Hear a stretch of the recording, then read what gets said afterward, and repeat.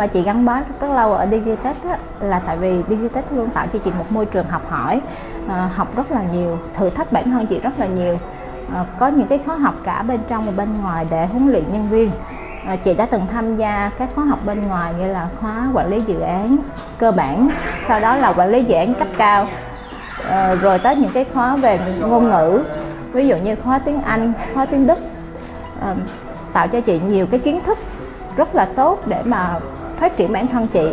À, bên cạnh đó là sếp của chị là những cái khóa học bên trong đó là sếp luôn luôn dạy tụi chị à, cải thiện cố gắng và học được rất nhiều trong cái công việc và bao gồm cả học cả đồng nghiệp nữa.